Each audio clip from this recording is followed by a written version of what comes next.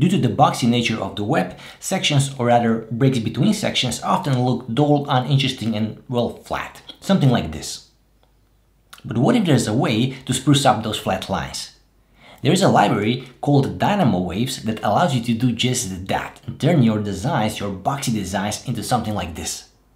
In this video, I'll show you exactly how it works. Alright, Dynamowaves is a JavaScript library created by Mark Zebley. You can install it with a simple script tag, as you see right here, and you use it by including into your HTML a custom HTML element called Dynamo Wave. What it does is, at the time of page load, it replaces those elements with the SVGs or randomly generated SVGs that look something like this. So let's see how exactly this works. I have a demo here on CodePen and you're gonna find links to CodePen demo and to Dynamowaves in the description, so check them out. I've already added a library, it's available right here in settings, then JavaScript right here, and it's ready to use.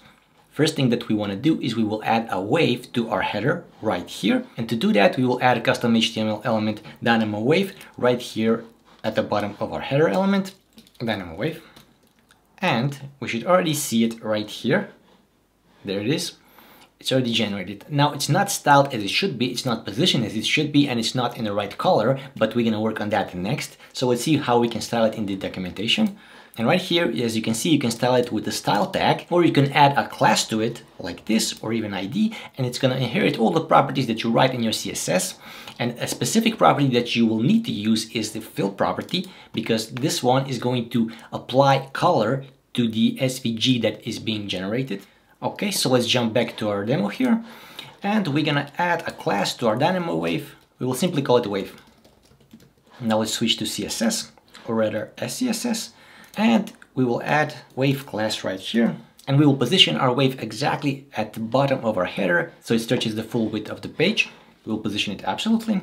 Top is going to be 100% because we want to push it all the way down to the end of the element and left is going to be zero. Now this is already in the right place, but it's facing the wrong direction. And if we look at the documentation, you're gonna see that we can change the direction of the wave using the data wave face attribute.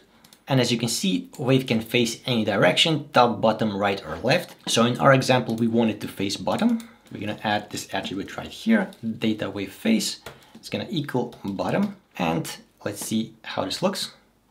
Right, now wave is facing the right direction, it's still not the right color, and I think it's a little bit too big, so we're gonna tweak the size first. Let's make it explicitly 100% width, and height is going to be maybe one or two rems. Maybe that's not enough, maybe let's try three. And we want to make sure that our wave is the correct color. And as I mentioned, we're going to use fill property to add a color. Now the thing to note here is that fill can only take a solid color. You cannot use linear gradient as we're using right here. So whenever you're adding dynamo wave, make sure to add a solid color to the element that you're gonna extend. Or alternatively, position the gradient so that the solid color goes all along the edge that you want to extend like right here. So actually we're using gradient to bottom right here, as you can see. So this is going to be a solid color and the color we want to use for our wave is going to be this one. And I'm just gonna extend the wave right here.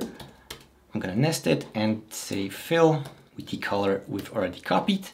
And as you can see, this works pretty well. And we're gonna tweak padding here because we wanna reduce padding right here because we already have this additional SVG that takes more space compared to our top padding here.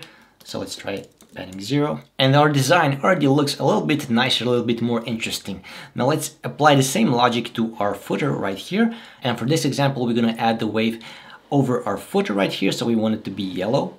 So let's switch back to our HTML. Let's copy this entire element and we will paste it at the bottom of our wrapper.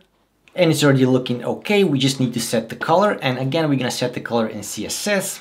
And we're just gonna nest the wave class into our wrapper to have those colors that are related nearby. If we ever wanna tweak this color, we can immediately see that this one needs to be tweaked as well.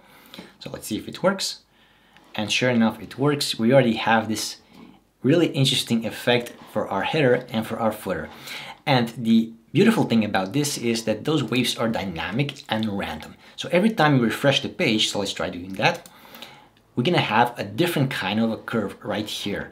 And there's another option you can use for Dynamowaves. It's called wave observation. And effectively what this does is if you include data wave observe attribute and set it to true, it's gonna set the intersection observer. And every time the element leaves the viewport, it's going to re-render that SVG that you used. So as the visitor scrolls up and down on the page, they're gonna see different kinds of waves every time an element leaves and re-enters the viewport. Let's see how this works.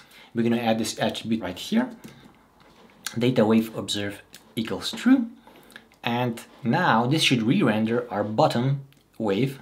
Let's see, now it looks like this. And if I scroll it out of the viewport and back in, now it looks a little bit differently. One thing I noticed about this data wave observe attribute is that it actually introduces an additional anchor link into the HTML. I don't know why this happens, if this is a bug, just something to note if you're going to use that dynamic property. And I'm going to show you right here in the developer tools how it actually looks. Let's select our SVG right here and you're to see that this anchor link appears right here. I don't know if it's necessary or not, if it's a bug or not, but hopefully this is going to be fixed or improved in the next release of the library. All right, let's close our developer tools here. And lastly, we also want to include waves around our images right here. So those sections look a little bit more interesting as well. And this is again example from the documentation right here at the end of the documentation where they show you how interesting this effect can actually be. And for this example, we want to extend our content right here to go over the image. So we can do this if we add Dynamo Wave to our hero content element. This is going to be right here. After the headline, we're going to add another Dynamo Wave. And for this example, we actually want it to face left. So let's immediately tweak this. And we will also add a different class. Let's call it Wave Hero because we want to style it a little bit differently. Let's switch to CSS. And I see this is already generated, but it's definitely not looking as it should. So let's create another wave class.